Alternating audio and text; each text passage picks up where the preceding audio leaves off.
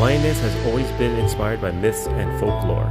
There is one story told about a beast named Nian who comes down a mountain every winter for food, only to be driven away by loud noises, the color red, and fire.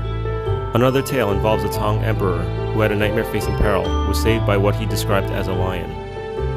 There's a fable about the Jade Emperor punishing the lion by cutting off its head and sending it to earth.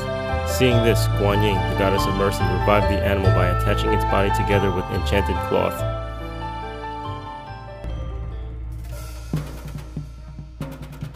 Today, lion dance festivals are held during the lunar celebrations to ward off evil spirits and bring prosperity to the new year.